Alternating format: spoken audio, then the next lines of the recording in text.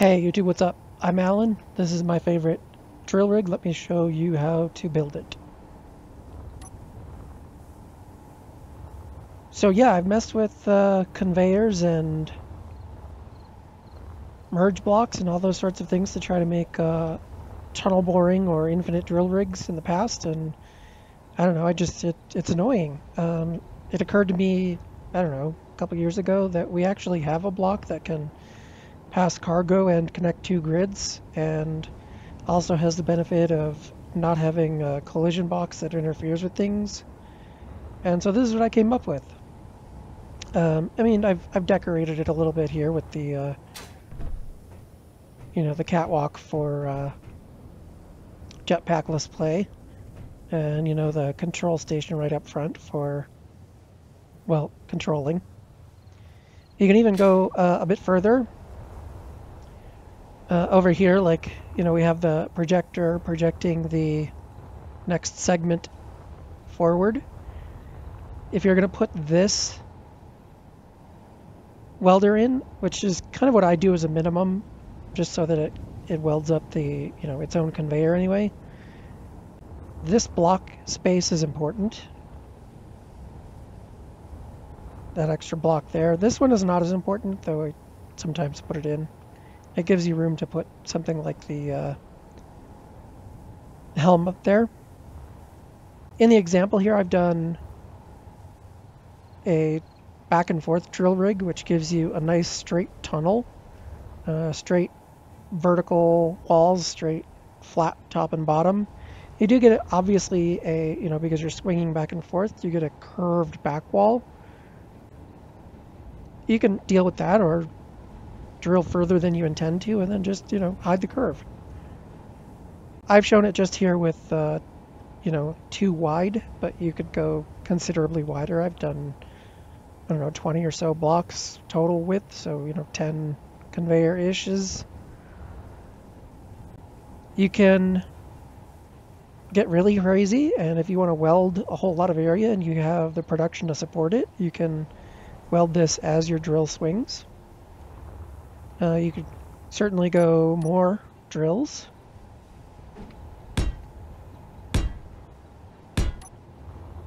That's uh, up to you. This also works uh, upside down. If we were to build it hanging like this, um, you could, you know, maybe use it to go across a a ice leak and, you know, have your drills like hanging down uh, it also works vertically. I've dug hundreds of meters down or up. Here, up. you can build it with all kinds of different drill heads. This is just the waggly one. Another one I like is you put a rotor and then another hinge and you have the hinge swing out from straight up to 90 degrees as the rotor is rotating so you get a nice semicircle in front of the drill. Yeah, lots of options. Let me show you how you build it. We need to build something kind of like this here because we need some clearance to put the uh, advanced rotors in. So I'll usually start building the line of conveyors. Uh, the measurements here are, are one junction or T. You could use the T's. I like the junctions and then three other conveyors, and then another junction or T. And then on one of these, build out a block and put a piston going upward. I like to set the limits to a min of 2.4 and a max of 6 or so. It's not particularly critical, you just need a bit of room. And then once you've got that, you can place your advanced rotor I'm a little picky, so I always line them up in the same direction, and with build info, I like to do it with the red axis forward. The actual moving part of the rig, this here is, uh, you build your piston up, you attach a, you can use a whole block, but I like the half block, so I don't have to worry about collisions then a conveyor or a T, or even just a right angle. Uh, sometimes I use cargos. Uh, the piston going in the direction you plan on drilling. And then another conveyor or you know, a junction or a regular straight conveyor. You could use tubes, but I like having surfaces to attach to. Another conveyor or T. And then on each of these two ends, you place your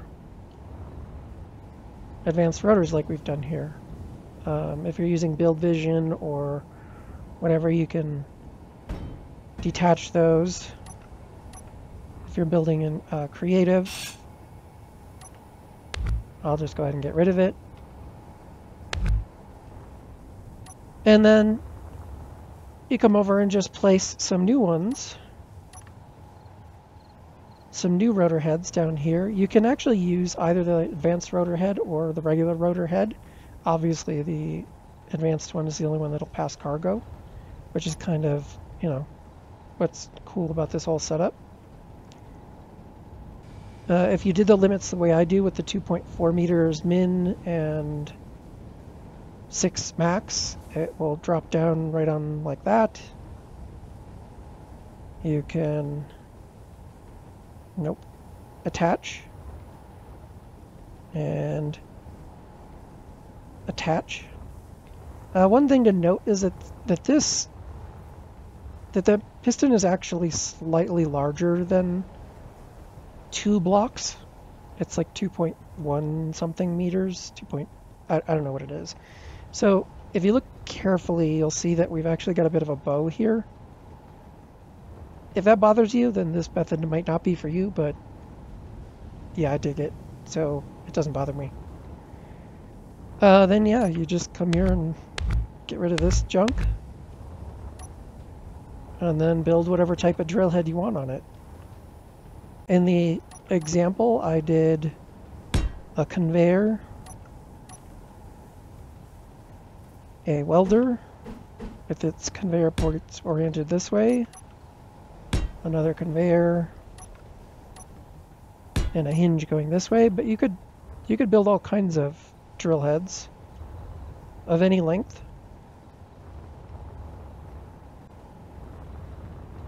Then to use it, uh, at, at a minimum, you can use it by hand. You just sort of detach the front. I would push this forward at, you know, something slow, but for the video I'll just send it forward. If we had a blueprint here, we'd be welding this as we go if you do make a blueprint, don't forget to include the advanced rotor heads, unless you feel like adding those yourself. When you get to the end, you attach the front one, which I usually like to name these so that it's very obvious what's going on. Detach the rear and then reverse the piston.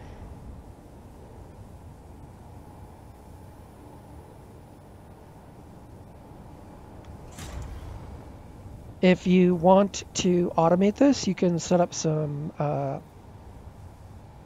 automation with timer blocks and event controllers. One of the things I kind of like to do with the event controllers is set up one that looks for the connected state on both of these two rotors. And when it detects that it's detached, it, it attempts to connect the other one. I'll let you figure out how I came up with that. Even more, you can you can get really creative. Uh, let's say we wanted to, actually let's use this other one. We wanted to be building a base inside the mountain, and we don't really want our refineries and stuff sitting out here permanently. You can, oh, I don't think I have them on my normal hotbar spots on here. Hang on. You could start small and place a refinery and a even a basic assembler. Sorry, let's get rid of build vision or build info. uh, or a full-size assembler. Or, yeah, the uh, full-size assembler goes even in this direction. Although you can run into some problems. You don't, I don't think you clip through those heads. But if you're building a tall entrance, you could just oh, scroll and hit the wrong one. You could do like that. And then we could put our assembler on here. So then you could uh, process your stone as you go, throw some speed modules on there, assuming you've got some source of power. Assemble all of your materials as you go, and then once you get inside, you could relocate those to wherever you want on the base. Yeah, so that's uh, that's my favorite style of drill rig. I'll leave the automation to you. I often just use them manually. I push forward with the piston at about 0.2 meters per second, which is what 100, 500 seconds. So that's six, uh, eight minutes. So while the drill's moving forward, or if I have a uh, event controller set up to you know waggle back and forth and then extend you know two meters every time you know it'll be you know 10 or 20 minutes that while this is going I can be doing something else and then you know so I have to babysit it occasionally to attach and detach the heads and then extend it if you're planning on you know going quite a distance you can you can automate it. One thing I actually, I was going to end, but one thing I like doing for that is something like this.